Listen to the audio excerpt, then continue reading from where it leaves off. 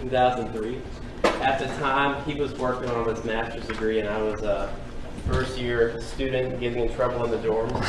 He, uh, he whipped me into shape really quick, and Oh, then man. he was on the professional staff in the housing office while I was a student staff employee. So I was able to connect with him early and uh, really learn from him.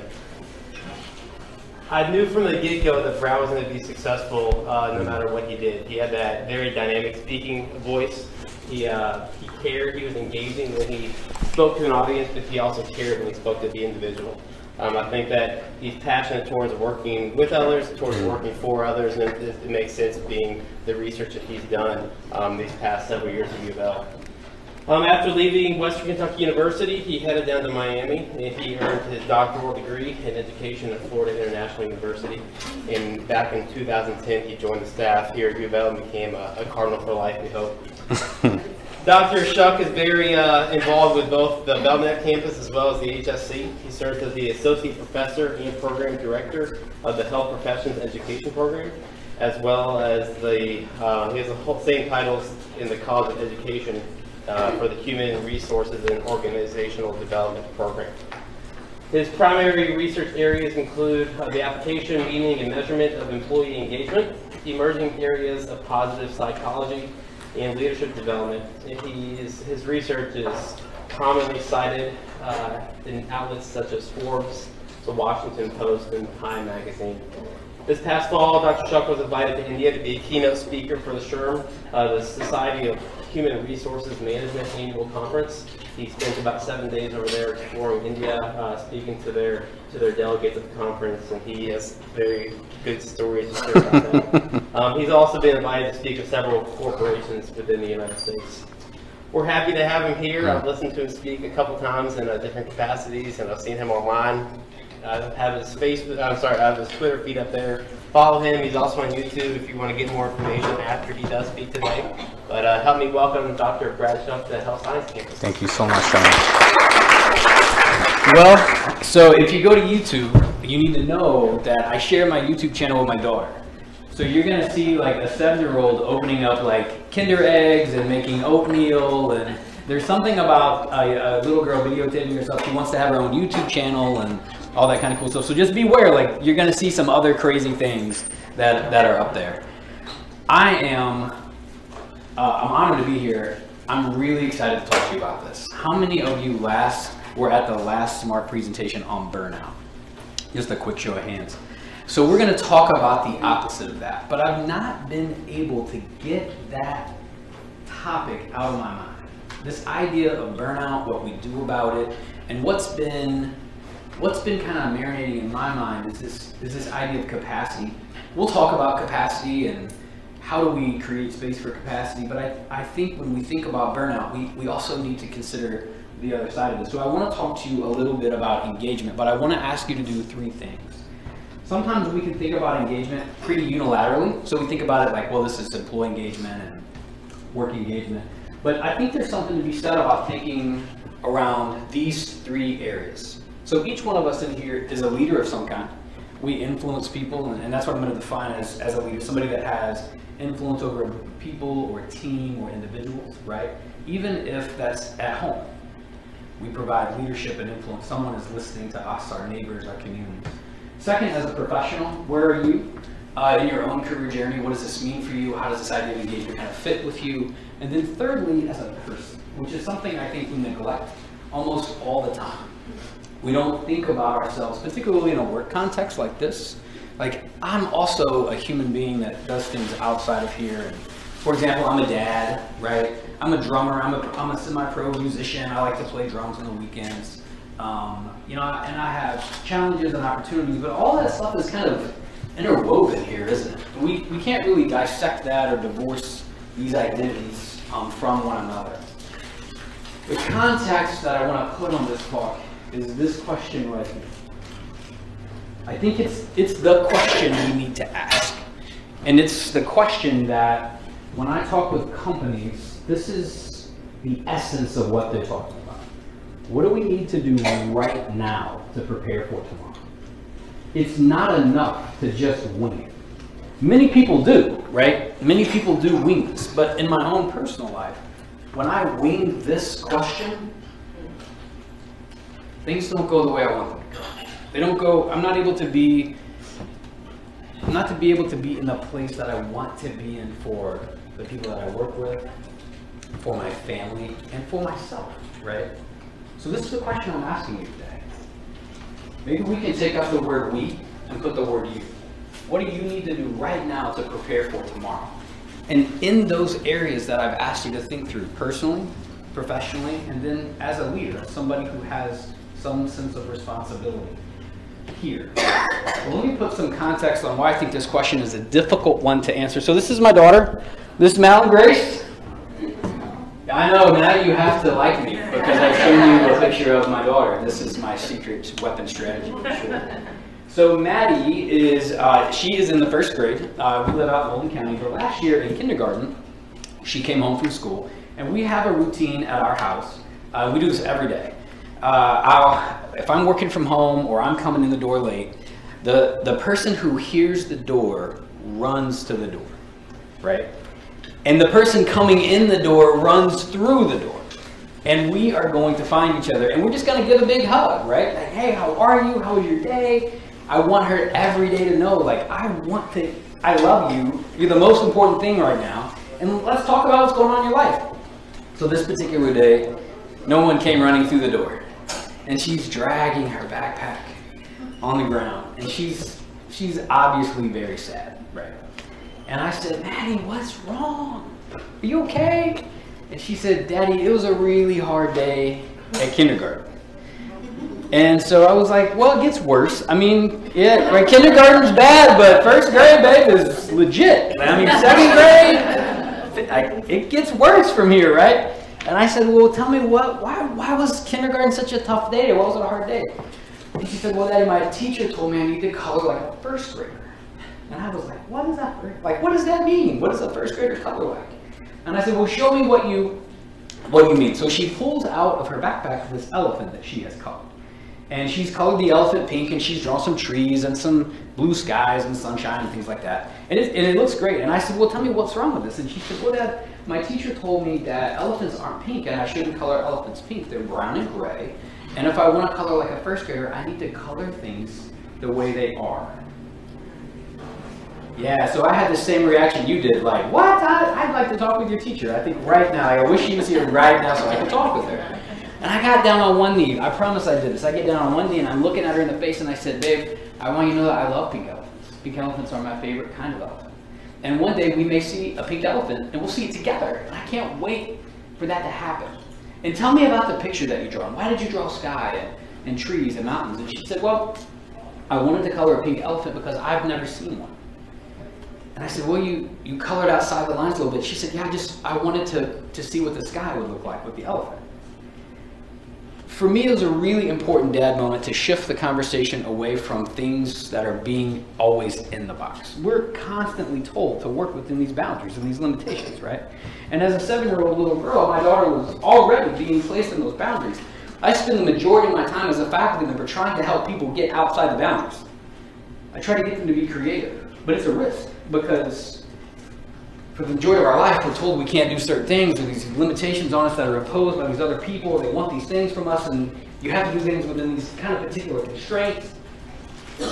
Look, I'm telling you right now, if you want to rethink what you need to do today to prepare for tomorrow, we have to think differently about pink elephants. We have to think, and, and, and I call that the pink elephant philosophy. It's a different way of seeing things. It's a different way of approaching life. It's a different way of considering our work. So I'm going to invite you into that conversation to think a little bit about what it might be like for you if you didn't have those constraints to color inside your lines. And we all have them. We all have them. So I have a fun activity. So my friend uh, Rod Wagner, who used to work for the Gallup organization, now works for a company called BI Worldwide. He has this happy face o meter, right? And if you go to this website, workhappier.com, and you can do it now, you can do it later, you're going to slide that happy face. And if you slide it up, it gets bright, and this smiley face gets bigger. And if you slide it down, it gets sad and depressed and blue right? And so this, what's interesting about this for me is it's scientifically connected to the way that you feel at work. So the question is, how happy are you at work? It's going to give you a number. And that number corresponds with 36 individual items around your engagement at work. What's really interesting is we validated this over and over and over and over again across 12 different dimensions, and every time it comes out incredibly robust.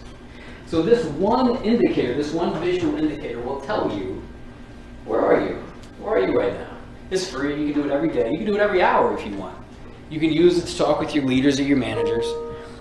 I'm getting the email. Does that make anybody else's blood pressure rise? Did you hear that? I'm going to unplug that sound because that's going to make me nervous all day because I'm just going to get emails today. So here's why this matters. Let me give you some information. Did anybody get a number that they want to share? You guys are like, I'm not sharing my number. That's my number. It's not your number. I don't know you. You're a stranger.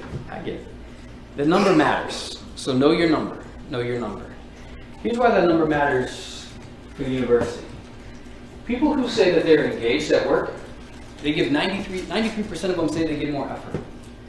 So what you're looking at here, all these dark green bubbles are people that say they're working harder than they have to for their organization. What I find is that engagement is an amazingly resilient construct.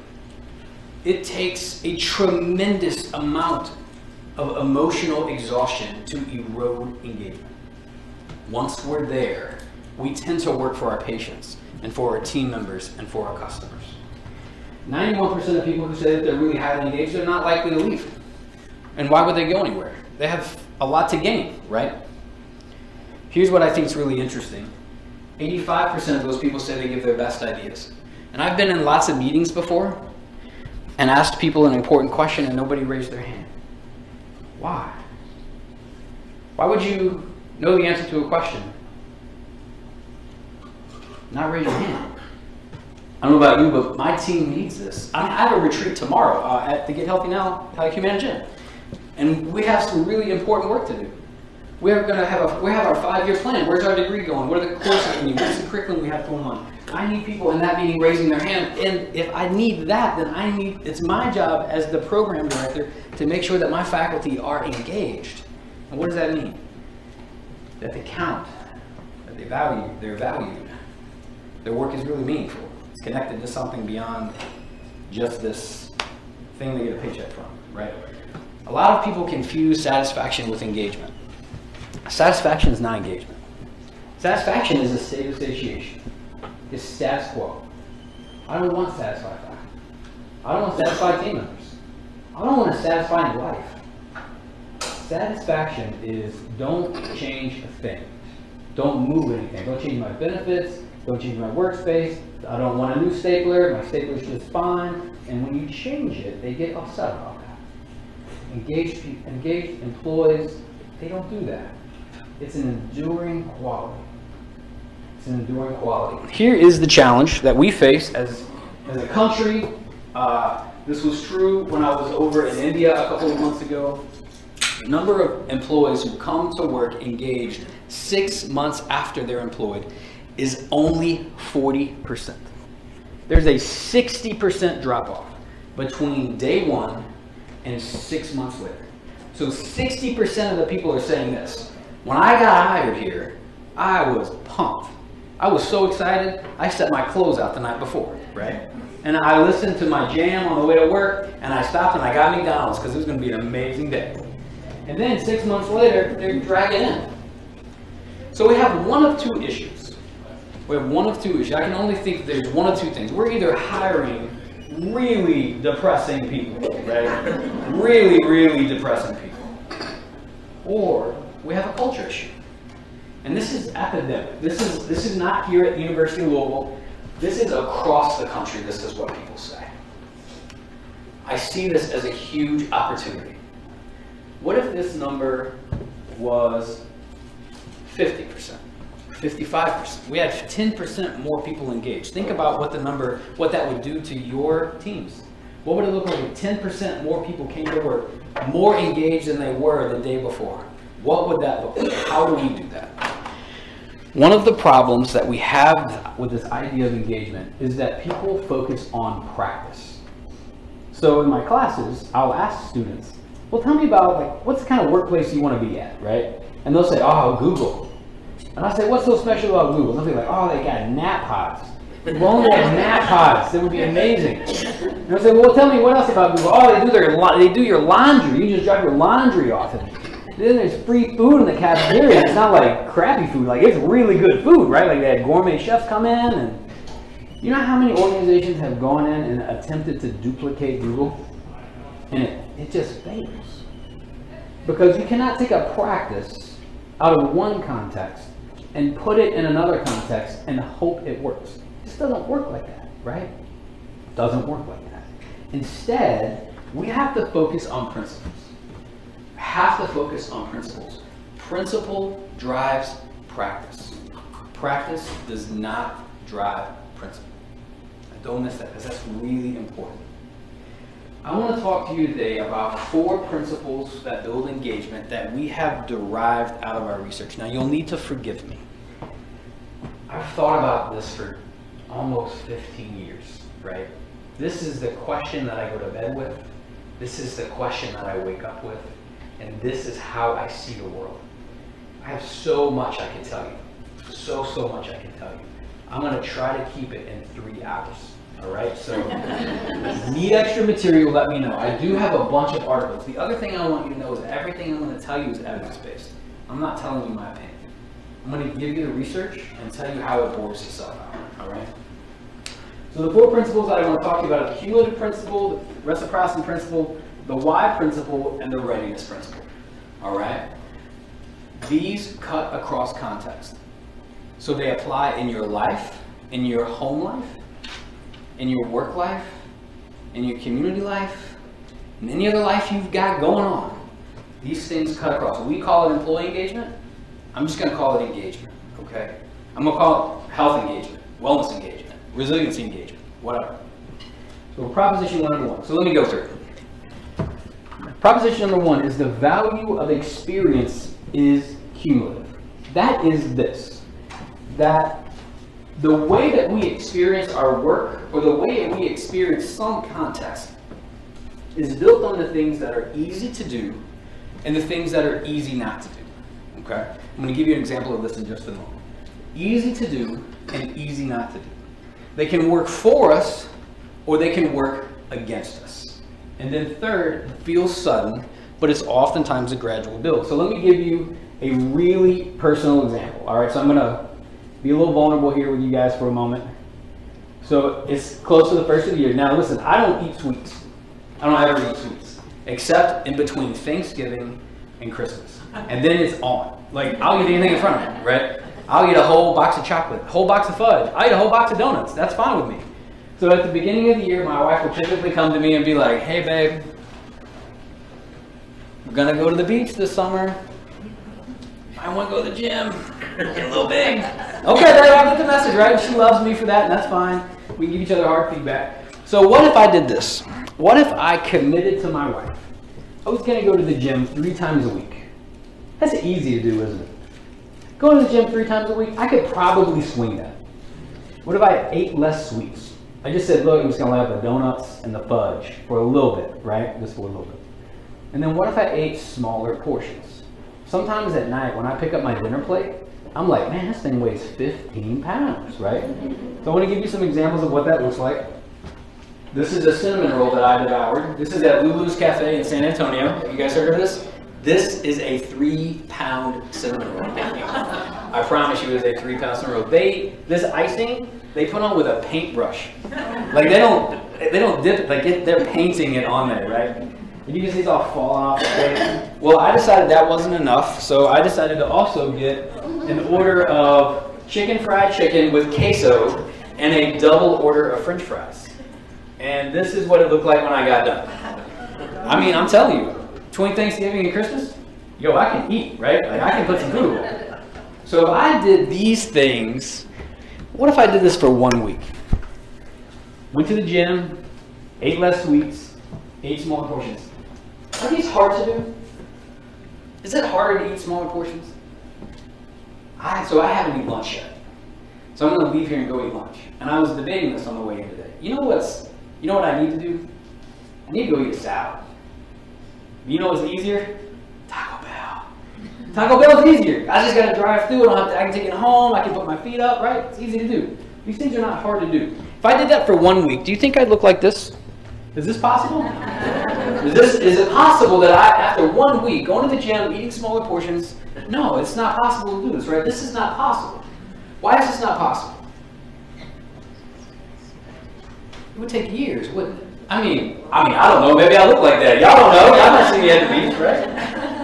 Also, I'm not sure why you're laughing. You don't, you don't think this is possible? I see. It's obscene, isn't it? It's absolutely obscene that for one week, if I ate less sweets, did small portions, but isn't that how we treat workplace culture? We're going to do one intervention. We're going to do one thing. And we just expect it to work.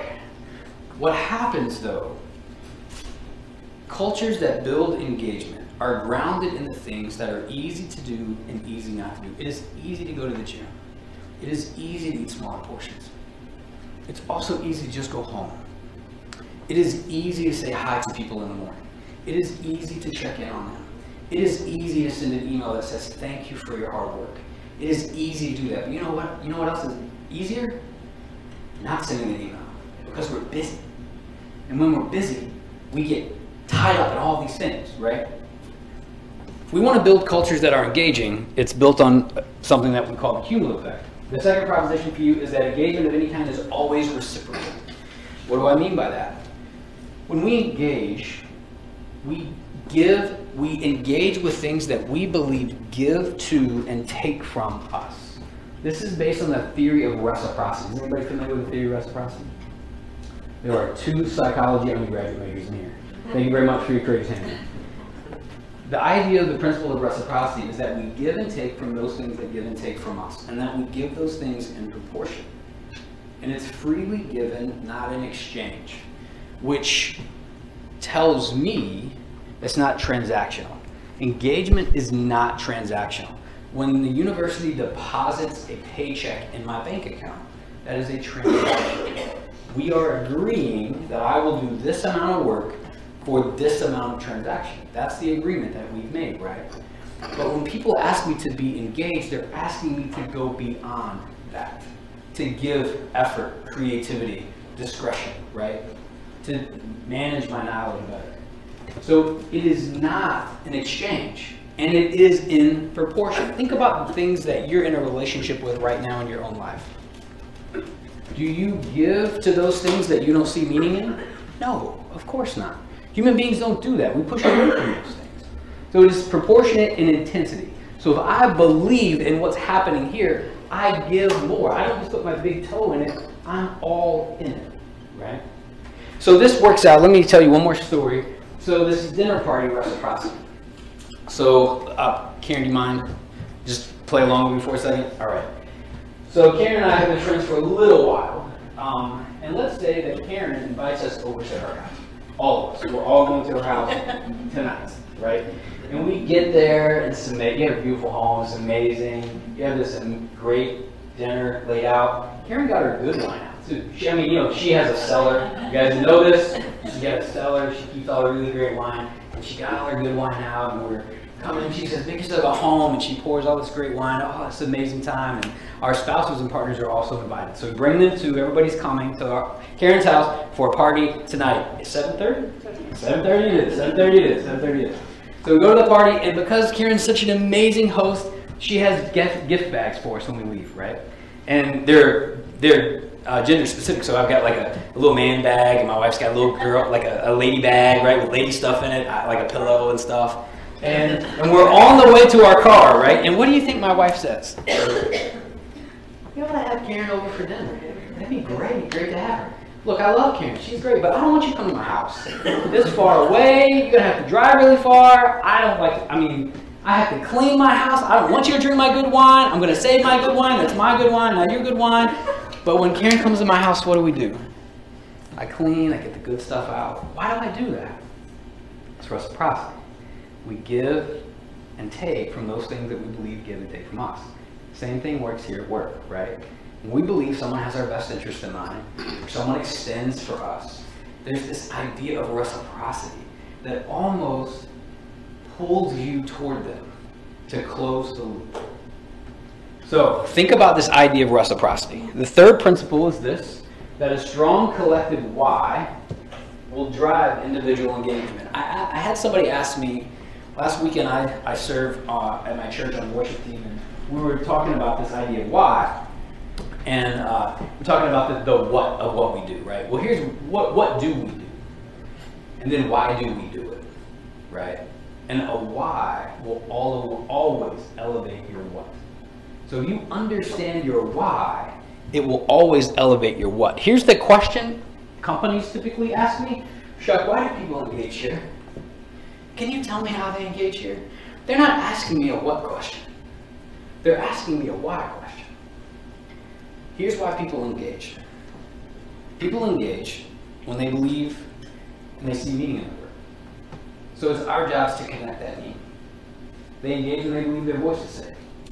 And they believe, they engage when they believe they can. They have the resources to do that. The idea here is that human beings do not engage in things that they do, do not see meaning in. They back away from those activities. And second, they do not engage with things that they do not believe to be safe. We did a research project here in, uh, here in Jefferson County.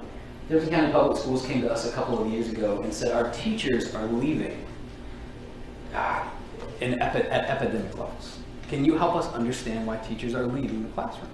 We said, yeah, yeah, sure, we can help you do that. And so we sent a survey out to teachers and we talked to some teachers and they said the problem that we have is that teachers are leaving in really high priority schools.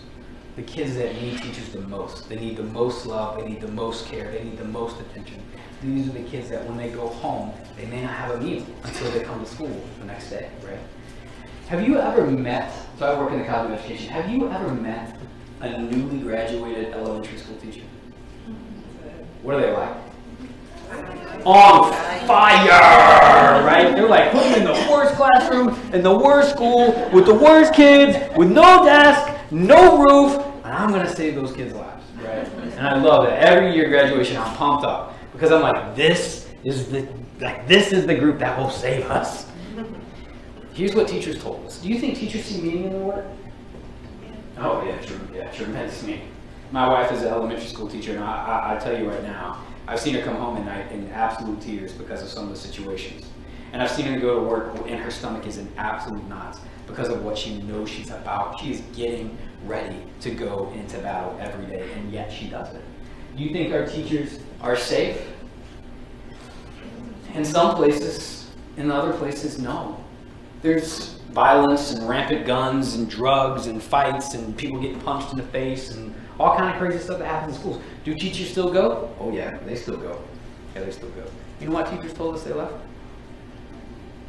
Just massively under-resourced. Massively under-resourced. You need crowns? You gotta go buy them. Your kids need paper? Gotta go buy them. Yo, your kids don't have lunch money? Too bad. One, one student in my wife's class, their family could not afford to buy their kid lunch. And every day they sent a note home in his backpack that said, Your account is delinquent. What? That's why teachers leave. But you know what? That's why ER doctors leave. That's why faculty leave. That's why policemen quit. And when they don't leave, what is that? What do we call that? Burnout. We call that burnout, right? So if we want people to be engaged, we have to do these things. It builds over time, it's, it's reciprocity, and we have to connect to the why. The fourth principle that I'll give you is this idea of readiness. Connected to the question that I asked you when we started. You must prepare for it before you need it. And I get this from leaders a lot. I'm going to talk really specifically to leaders. So leaders will come in and I say, we have a crisis. We have a turnover epidemic. Like we have a big problem. Okay. Can you fix it today? No, I cannot fix it today. Because it's cumulative and it's reciprocal and we have to fix your why. And then we can do that. But they need it right now. If we're going to think about things from a readiness perspective, You must think about the future, not the past. And this is where most leaders live. There's a lot of shame here. There's a lot of guilt here. I mean, even as a father, right? Like I can think back in my own life and think like there's some shame and some guilt of decisions that I may have made, maybe events that I wasn't able to be at, or something that I prioritized over my family. I must think about the future and not get stuck here. It requires intentional work. So if an organization is coming to me to say, how do we fix our engagement problem? How do we how do we fix our burnout issue? How do we fix our turnout issue? I say, well, we need to think about what is the intentional work that we must begin to do. What is the messaging that people get every day? Is engagement an objectified artifact? So are we saying, I need you to be more engaged because I need you to work harder and longer hours so that we can make more profit? Look, people don't really care about that. And they, they don't care. They want to do work that's meaningful and that's inspirational and impactful and connected to a why. And you, see, you get my point? It answers the question that I posed to you before I mentioned that. Now, so these are these four principles. Sound good? Do you buy me? Would you buy this book? I don't think I'd buy this book yet because I nobody showed me any evidence of it, right? Like so far, all I've told you is like here are these really four fancy shiny things that I think are really important about engagement, and they're grounded in these big words: cumulative, reciprocity, readiness, and why, right? Let me show you the evidence. Can I show you some evidence? Do you guys mind? I've got a lot of statistical like APA charts. Is that cool? Everybody want to see that? All right. Is there any evidence that this works at all? All right, let me show you this model. This is my favorite model. This is a model of compassion. So a couple years back, the mayor came to the Louisville Society for Human Resource Management and said, look, we've asked businesses to be more compassionate, and they told us that compassion sounds really fuzzy and soft. Can you help us develop an evidence-based model around compassion, in particular for leaders? We were like, oh yeah, that's our specialty. I mean, we take weird constructs and try to put measurement to it, right? Here's what we did. We went out and we interviewed 31 identified leaders in the community. And then they worked, some of them worked here at University Hospital. Some of them worked at places like Yum and UPS or nonprofits uh, in the area. We interviewed those individuals and we transcribed those, all of those interviews, and then we thematically coded them to identify the themes. What was different about the leaders that were identified as, as two things, particularly compassionate leaders, but also high performers? Because we didn't want the leaders that were just hugging everybody, right? Like that's nice. I like to hug, but we also got we have results we have to achieve, right? What does that look like? And then, and here's what people told us, and I'll tell you the other part of it in a minute. Here's what people told us that compassionate leaders do six things. They treat people with dignity. They're authentic. They have a sense of presence. I'm sorry, that yellow box is quite hard to read. They're accountable to themselves and they hold their teams accountable. They work with a sense of empathy and they have a personal integrity that is unwavering. This line here, we call it the courage line. Because to be quite honest with you, it takes a lot of courage to have empathy with someone who you're having a hard time with at work, or for a leader to hold team accountable in some kind of way. This, this courage line, it takes a lot of effort and courage sometimes to work above the line. Below the line are behaviors like humiliation, insincerity, detached, avoidance, distracted, dishonest. So just take dignity for a minute. If you're not working from a place of dignity, you could be working from a place of humiliation. And who in here likes to be humiliated? Yeah, that's kind of what I thought. How about um, how about distracted? Does anybody like to work with leaders who are really distracted? Can't focus. You're in your one-on-one, and they're like doing other stuff. I had a manager one time. We would go into a one-on-one, and she like would sit in front of the computer and just type and be like, "Oh yeah, uh huh, mm, yeah, yeah, sure." She had no idea what I was saying, right? These were the behaviors qualitatively that people told us. So what we did, we took all six of these we identified four behaviorally based statements connected to the behavior of dignity, authenticity, and so on and so on. And we developed what we call the Compassionate Leader Behavior Index, and then we deployed it. Now, we had at this point been working on this project for three years. We get the data back, right? And this is the world that I live in. Here's the data, and my project that I've been working on for three years is either boom or bust, like right now, right? I'm either gonna be really sad or I'm gonna go pour bourbon and celebrate. This is gonna be amazing. So we run the data. Here's what we find. That those six behaviors explain 14% of the variability in a person's level of engagement. It had a relationship not only with engagement, but satisfaction, effort, well-being, innovation, and creativity, and intent to turnover. It was related to everything in the model. It was everything. And at really high levels. I'll, I'll take that all day. Here's what it looked like when leaders promoted that environment, uh, particularly with turnover. All the little black dots that you see there are people that are saying, I like my job, but I think I'm going to go find some other place. All the white and gray dots that you see are people like, no, I'm staying put. The two behaviors that actually drove that were dignity and accountability. Now that's interesting to me. How much does it cost to treat people with dignity again? Nothing. Doesn't cost anything, right? But I can tell you last night, when my wife came home from work and I started work at 6:30 and she started work at 6:30 and she was with a group of screaming kids all day and she came in and I was still working and I wasn't listening to what she said. You know what she told me? She said, "You didn't hear a word come out of my mouth." And I was like, "Oh my god, you're right." I didn't hear anything she said. She's my wife. Like I we've been married almost like 16 years. Like I think my dad sends her a check in the mail every month to like stick around for a little bit longer. Dignity is free. And then accountability is what I find to be really, and leaders are oftentimes perplexed by this idea of accountability because it seems like it wouldn't, that wouldn't work. Why? Holding people accountable is mean. No, no, no, no. If you don't hold people accountable for results, you emotionally erode the rest of your team. The rest of your team says, well, she can get away with it. Why can't I? Right? And then they start to get upset. They start to get emotionally exhausted. And then they start to depersonalize work. And then they become cynical. And then all of a sudden we're like, oh, this is bad. Here's what health looks like. I got so much stuff to tell you guys. Here's what health looks like. So this is the where the future of my work is going is the intersection of work and health. And I believe that people who work in places where they can experience high level high levels of engagement fundamentally live a different life, and that includes their health. So we started to ask people about what your sleep patterns look like, how much alcohol do you drink, how do all kinds of things. Look at all these dark circles. These are people that tell us that they're that they're engaging in very healthy behaviors. The leader behaviors that drove that were dignity, empathy, and accountability. Again, we see that dignity theme and that accountability theme, and here we see the empathetic theme come up.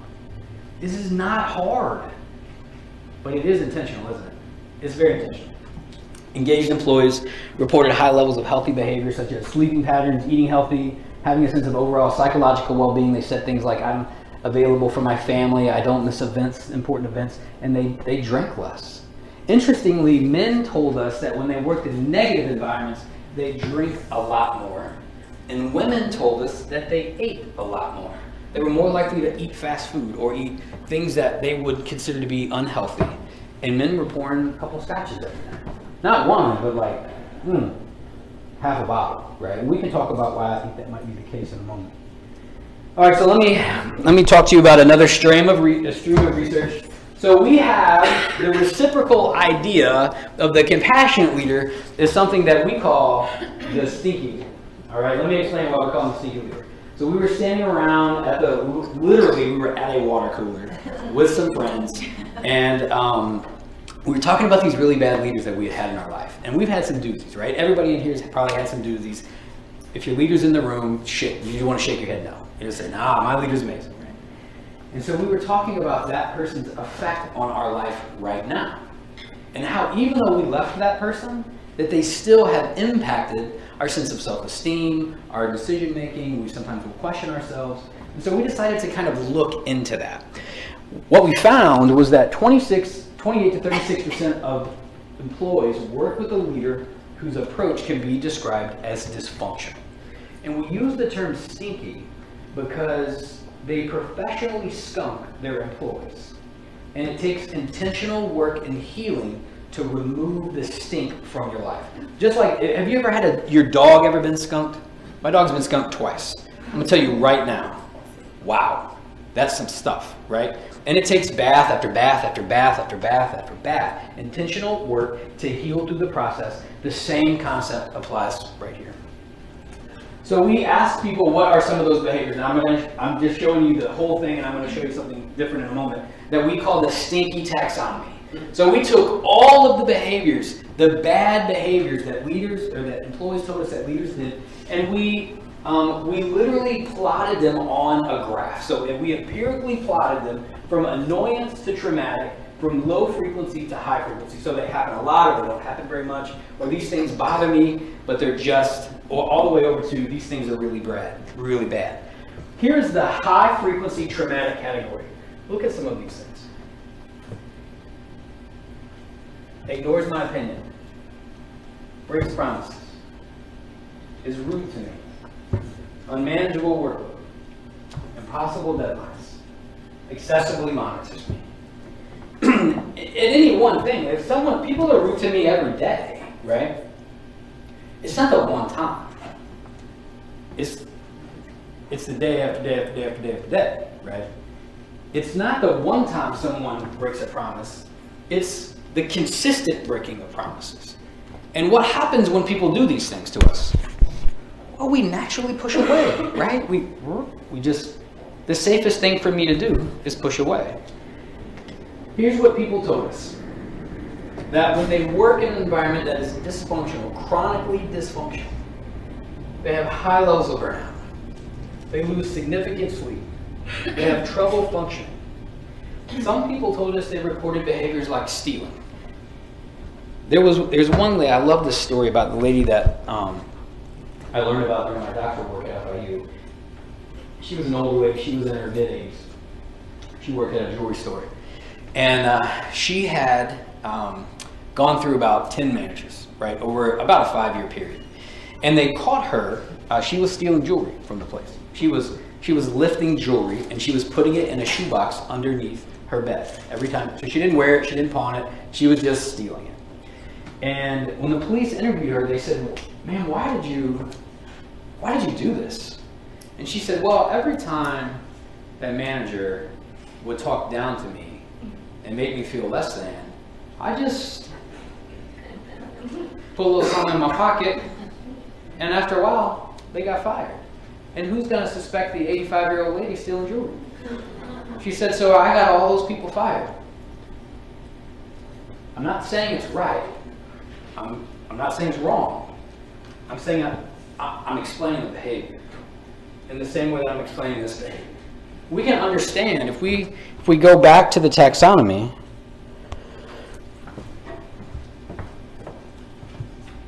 This is what's amazing. The most traumatic of all is ignores my opinion. It's what people told us. Unmanageable workload. Anybody here have an unmanageable workload? Mm-hmm. Yeah, I get it. I get it. I get it. I get it. I get it. All right. So you might be saying, well, that's depressing. What do I do about it? All right. We need to talk about something for a moment. So I want to talk with you about burnout for a minute. Spent a lot of time thinking about this, and there are experts in the room beyond me that know a lot more about this idea of burnout than I do. But here's the analogy that I'm going to draw for you. You have a cup. Here's your cup. And you keep pouring into the cup. Eventually, what happens? Spills over, doesn't it? And it gets everywhere. But what happens if it doesn't stop? It just keeps overflowing and overflowing and overflowing and overflowing. Burnout is caused by emotional exhaustion, which is the opposite of being engaged. Now, don't miss that. The opposite of knowing that you matter, that you mean something, that your work is of value, you're an important human being, you're a good person, and that these things build over time they're reciprocal, and they're connected to your why. Once you're emotionally exhausted, oftentimes in the Maslach Burnout Inventory, there are three scales. Emotional exhaustion, depersonalization, and cynicism. Depersonalization and cynicism are coping mechanisms of emotional exhaustion. You become emotionally eroded, and the coping strategy is to depersonalize. Now, why do we do that? we don't have more capacity. It is the same reason when my wife came home last night and she, I started work at 6.30, She started work at 6:30. I'm still working when she comes home. I took a 15 minute lunch yesterday. Gets home, house gets crazy. Maddie's screaming everywhere. "Ah, daddy, daddy, daddy, daddy, daddy." And I'm like, oh my god, I can't concentrate. I just want a glass of wine, sit outside for a minute. And, and then my wife broke her Apple Watch and it was crazy, and everybody was crying and snots everywhere, and everybody was upset about stuff. And then she's trying to tell me about her day, and I do not have capacity to hear about your day. I just don't have capacity. So I depersonalize, right? And then she calls me, and I'm like, oh crap, I'm giving a presentation about this tomorrow. So it was kind of a sobering moment for me, right? And then we become cynical about it, and we say it doesn't matter anyway. Doesn't matter anyway. And that's a coping strategy. If you find yourself saying something like that, like you need just be you just need a nudge. You need a nudge. Now look, I asked my Facebook friends, I do this often, it's super scientific. What do we do? I said, I said, I'm looking for methods or practices for reducing acute burnout in the heat of battle. Think trauma surgeon in the ER, think elementary school teacher, police officer. In the moment, what do we train folks to do? Now, I've asked questions like this on Facebook a bunch of times. I had 60 people respond. That's a lot. That's a lot. And everything from meditation to resiliency training, some people said take a vacation, some people said take a sabbatical. There's a lot of things, and I'm going to go through this, and I'm, I'm going to find what are the evidence-based practices that help us drive, drive burnout. If you want my thoughts about what to do, I'm going to give you, here are some things that I would suggest to you. To the degree that you can, to the degree that you have capacity, treat people with dignity and be kind. It doesn't cost anything. I, I get that some people in here are like, well, I don't have a team. I, it doesn't make you unresponsible for other people that you work with. Just because I don't supervise our UBM doesn't mean I'm not kind to her. I give her a hug every day. I tell her how valuable she is. You know how overworked she is? She has more work on her desk than I could ever do. She never complains about it. She's always smiling. I don't supervise Kelly. But you know what? I love Kelly. So I tell her I love her. I would encourage you to elevate the experiences that matter. If you've not read the book Moments by Chuck Heath, uh, by Chip and Dan Heath, you need to go to Barnes & Noble today and buy that book. That was recommended by Dr. Ravelay and Stacy Center. You need to go buy his book. It's worth buying. It's fantastic. I would encourage you to sharpen your saw. What's that? Uh, it's called Moments. Mo- Moments That Matter by Chip and Dan Heath. It is so excellent. It's a really good book. I would encourage you to find ways to sharpen your saw. Go to the gym, eat healthy. I don't know. I don't know. Whatever works for you. Go, go to mindfulness training. Do yoga. Do something for yourself. You can. You have nothing to give if you are not pouring into yourself. You have nothing to give others. I would encourage you. For some of us, we need to look beyond the past and into the now.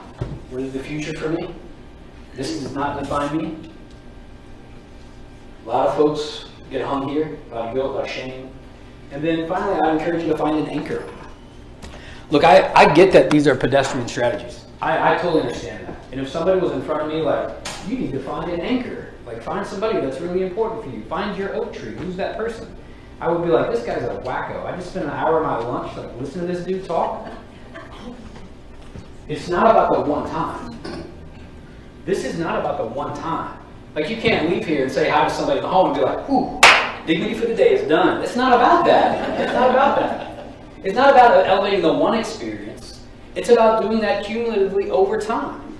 My wife recently won an award. She was named the what was she named? She was named the Shining Star for she was the teacher of the month for for Camden Station, right? So she came home. I had flowers and cards and balloons, and she was like, "What's this?" I'm like, "This is a really big deal. You want a major award?" And she was like, "I didn't want a major award." And I was like, "Baby, you want a major award?" And she was, she was like, "Nah, I'm good." And you know how like she smiles a little bit, you know, like, "Ah, it's fine, it's fine, it's fine. Come on, it's good, it's fine." Right? And so she won it again. So guess what? She got flowers and cards and balloons. She got all that stuff again because you elevate the experiences and you help people see the meaning. They feel valued. And you can these are pedestrian things we can do, right? Here's the challenge for you, and then I'll take any questions. I think we have a few minutes left. So here's a 14-day challenge for you. I want you to identify one thing you've heard today. One thing, just one. Dignity, being more present, treating people authentically, being myself. This don't be a stinky leader. I hope you don't choose that. That would be a bad choice today. And I want you to connect and reflect and implement that. Just pick one thing. And if you would, if you have a piece of paper and you're taking notes, would you write it down? You just write it down. I commit to doing this in my office. I commit to going to the gym once a week. I commit to not eating three pound cinnamon rolls. Right? Like whatever your thing is, just commit to doing that one thing for 14 days. And the reason I ask you 14 days is I'm attempting to establish a habit in your life. 14 days is a little short. Typically, I would say 21 days. But I feel like this is a pretty, this is a pretty expert group of people, so we can do 14 days, right? If you want, if you do that, if you'll take my challenge, and he, here's the thing, I dare you to, I dare you to take it. I, I dare you. If you do it, your life will be different. I promise you that. If you choose to treat people with dignity, your life will be transformed as a result of that.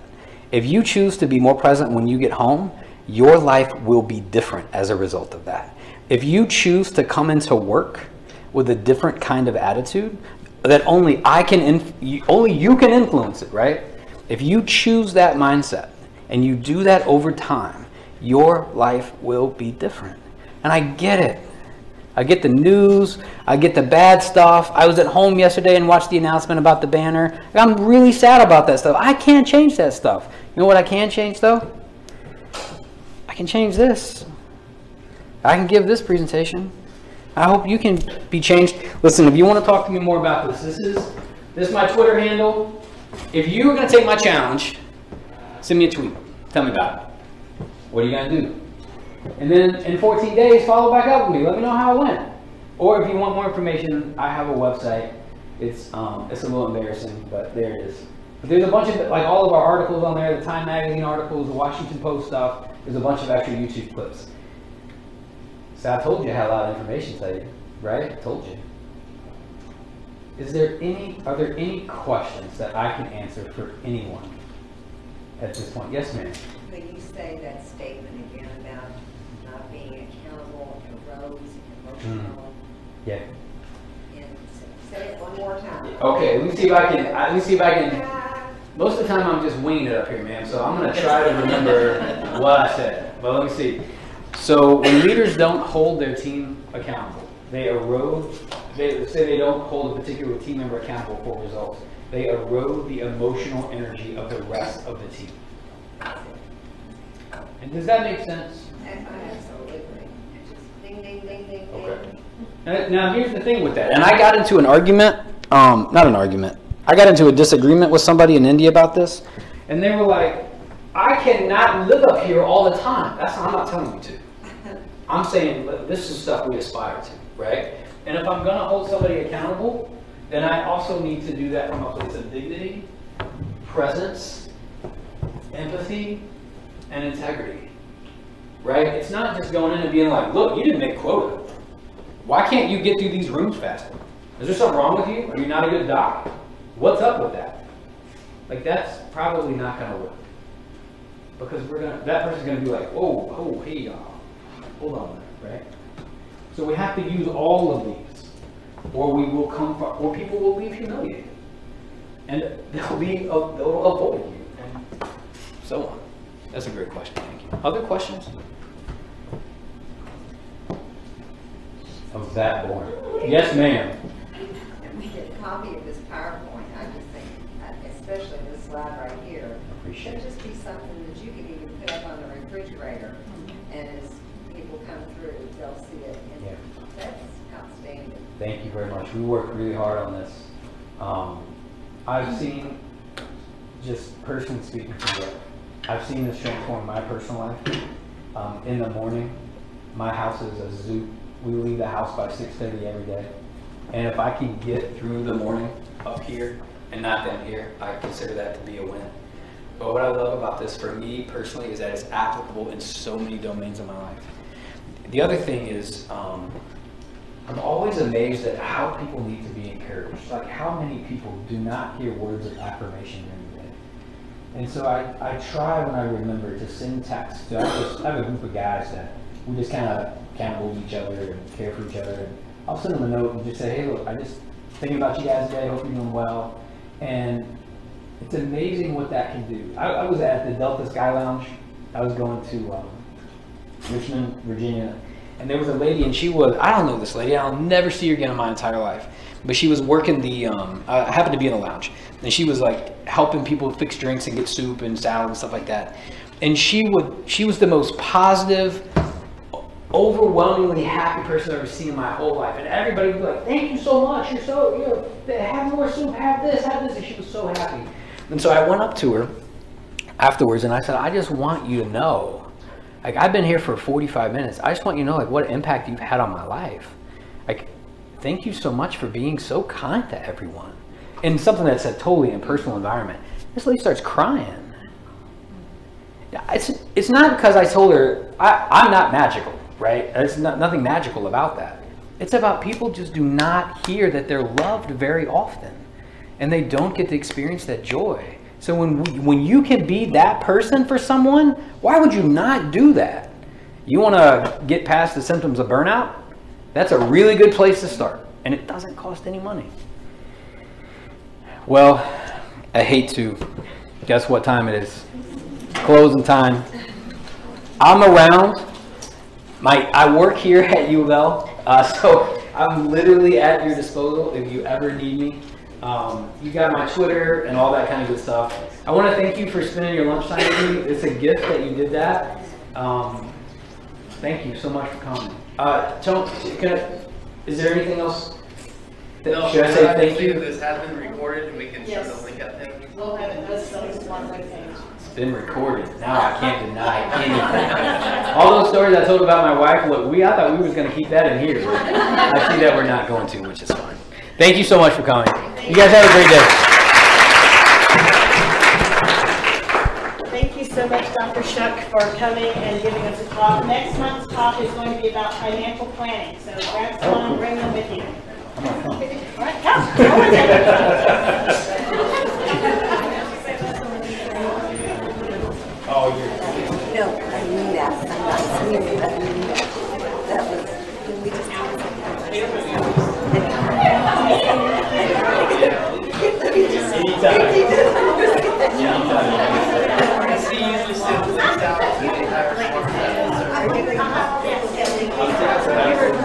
Oh, you want to give everybody that online. It's all in the bar, it's down, it's down, it's down. Just go to the back side of the page and you can see all the sounds. But it's the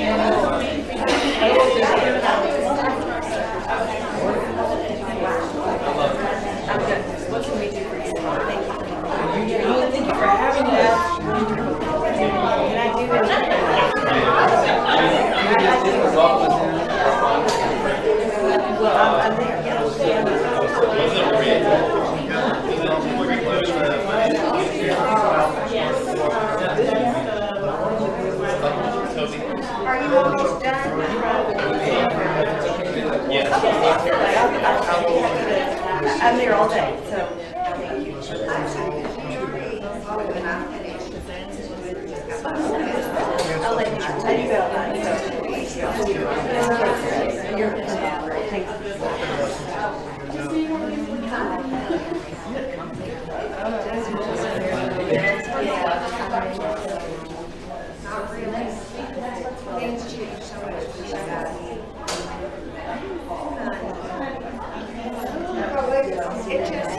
let you Because I tried Googling it and I couldn't find the name, or I'm maybe not able to understand the name.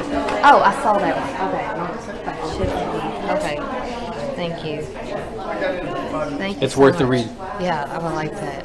Because, um, like, for example, I have a department that structure is not really there. And you can tell burnout's all there. And I don't want that to bleed over into me. That's why I feel like, so my goal for 40 days is to, I'm a planner. So I'm really going to try my hardest to not get sucked into that. Yeah. and complain, even though I can't control the situation, but I'm gonna try to. So I appreciate this. I You're welcome. Saw it, I'm like, I'm doing that. If I can do anything for you, I'll let you know. Yeah, for sure. Good luck to you. Thank you. Thank you so Absolutely. much. And hit me on Twitter, all right? I will, I will. Yeah. Thank you. And from there, I mean,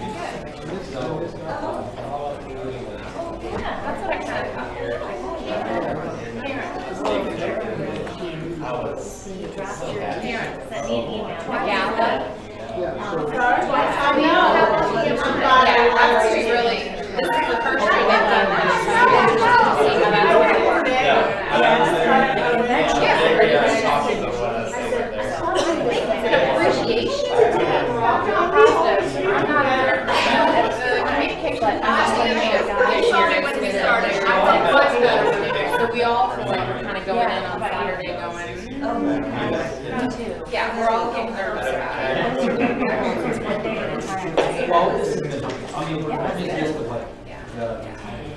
I think that the Coastal Charities match has gone really well. Every student that raises a thousand dollars, they will match their thousand. So, I um, mean, I don't think they've, I, I want to say there was up to twenty-five students. Yes, we are.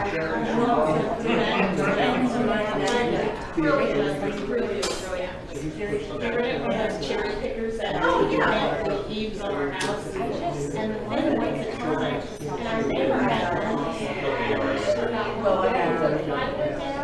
So they spread the yard. It's a great area. Yeah, it's got stuff. And, and you the equipment, maybe we would get us, so that the trenches our yard anyway, so it's like, we gotta fill it in with dirt. I'm so curious about your next week. I'm with my dad next. Oh, Who's the best speaker? You're probably. That's it, just. It's like you've been going. Been trying. I told you my wife was like, you better put the dance on. No, I really wish we would have had some of that at the, the Liam, that, you know, the league, because that was part of, but we just ran out of, just ran out. we ran out of time.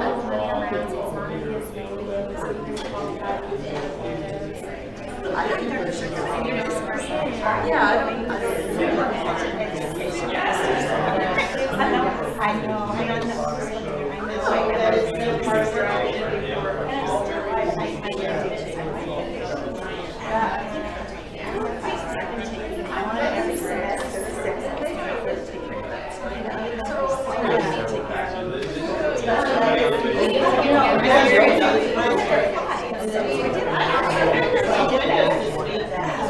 Okay, so here's the good thing. Here's the,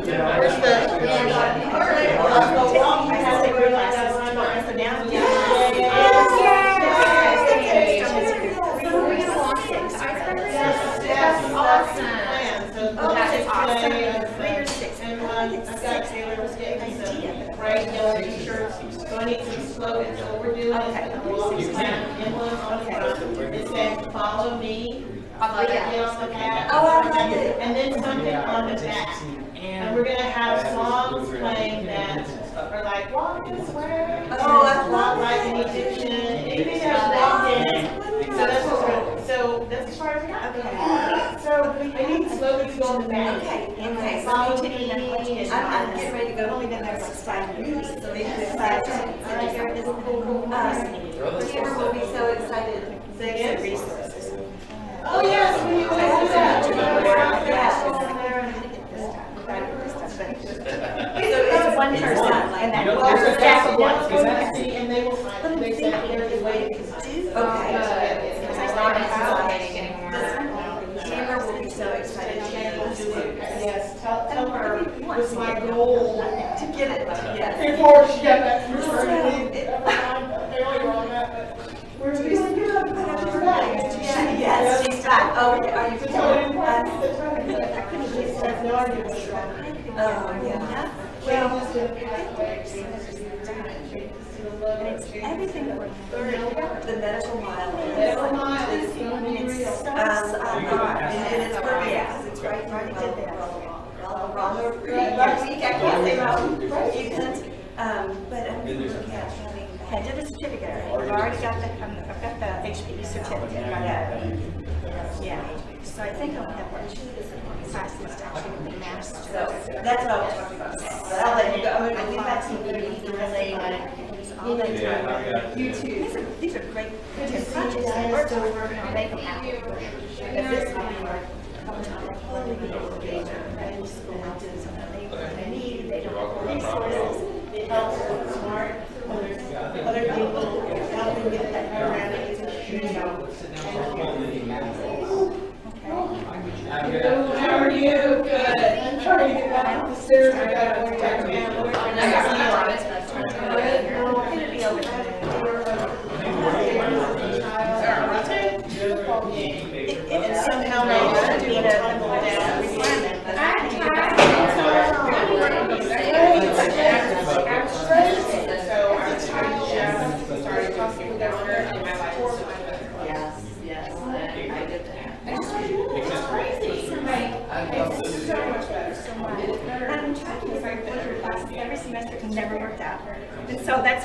I'm coming down here, I'm gonna hear this guy.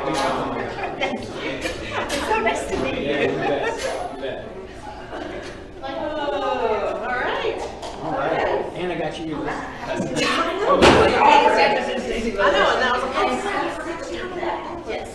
it was Well, I fine. know. It was fine. I- I'm sure you have it. I am. uh, that movie. Thank you for coming in next week. Yeah. So, That's the, the, the Liberty, yeah. Yeah, well, it's very, cool. so you have to give it, right? You gotta, good feedback, because, you know, I don't know for sure. Or like, like, hey, this looks great, I think. On the calendar. That's not true. It's not helpful. You know, You can't learn from- When we take, we take about thirty minutes for each. We just have. oh, yeah. We take about thirty minutes for each abstract. And the abstracts are two. Right. So they have to detail the project, have the purpose. Right. And then build their company. So you have that. You too. Tara. Yeah. Tara's in the seven eight class. Her, her stuff on her is superb. Oh, wow. Super. Get, uh, Fish. That's coming for you. Yeah. And when it does. okay. Things are coming. Oh, yeah, I told, I sent Robin, message last night, I was like, uh, Brad's talking tomorrow, did you? Oh, man, and I was like, we don't have time. Super nice of him to come. I know, so he moved stuff around so he could. That is so nice of him. That's super smart. I, there's nothing worth moving around. so. No, but he was like, uh, talking, he bring you into like, well, leadership, like to kind of do that thing, what they just did, so that, uh, you know. Yeah. Well, there's reasons for that. Right? There's predictables, for sure. I have not, um, so you know, we had that, we had this, Stacy, Dr. Rabelais and I had this conversation with Starbucks the other day about the position or not. And I literally did, I, I, I Yeah. put, I put two emails into the Department of Defense about their master resiliency training. They're Yeah. gonna hook us up with the entire program so that we can look at it and see if it works for us. Wow. Um, and then, uh, I put that, you know, question out on Facebook and, you know, people have, people had some good ideas. I think people have, you know, some, some ideas are just not Not feasible feasible, here. yeah. You know, like the sabbatical idea, it's just not possible to take us, for everyone to take a sabbatical. And my question to my DOD friends was, what do you do with a soldier in the heat of battle who's being shot at and missiles are flying everywhere? And they have to get through the next thirty minutes, or they're, or they're gonna die. Yeah. And they were like, oh, that's a good question. Yeah. Okay, here's what we do for that, for those, because they gave you some after-action kinds of stuff, but in the middle of the battle, and you're in the storm, what do you do? So there's got to be, there has to be something that they do, because they've been doing this for hundreds of years. So, But we'll get the program, we'll take a look at it. That'd be really, It'll be great, It'd be great to see it. It'll be great to see it. doing well, man. It's been real well. We, yeah, went okay. It's okay. I think, yeah. I think it's well received. And people want the presentation. the slides and all that.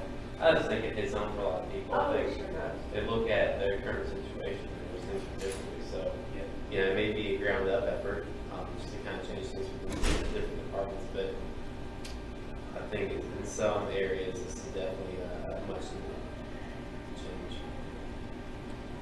It's a, it's a culture issue. It's a capacity, it's a capacity issue. It's just a capacity issue. Um, but, you know, point in case for me, where I'm at, my chair, Jeff, is a great guy. He's a, um, he cares a lot about his team, but he doesn't have the capacity to tell people that. So we, we, we went, recently went through the review process. And it was really cold and disconnected and personal, and all, you know, all the literature says like, this is your opportunity. You got galvanize your team here. Right. And he, he, he just didn't happen because he didn't have, he couldn't, he just physically couldn't do it. He didn't have any more capacity, couldn't get it. Yeah, my wife came home, she works at Yum, she came home two days ago, last night. And she goes, she had me smile, and she goes, yeah, I got my performance evaluation. And they give her printouts, they have a meeting, a one-on-one meeting with the director direct supervisor, and they write everything out, like, they have comments and suggestions.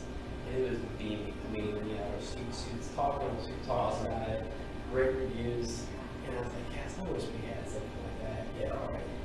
Our evaluations, like, here, fill this out, score yourself. That's exactly right. Yeah. Hand it back to me, I'm like, I, we get no Feedback. feedback, there's no positive reinforcement, there's no. I mean, my direct supervisor's on leave right now, and even when she's here, she's like, it kind of feels as if sometimes they're only checking on you if they know something's going wrong.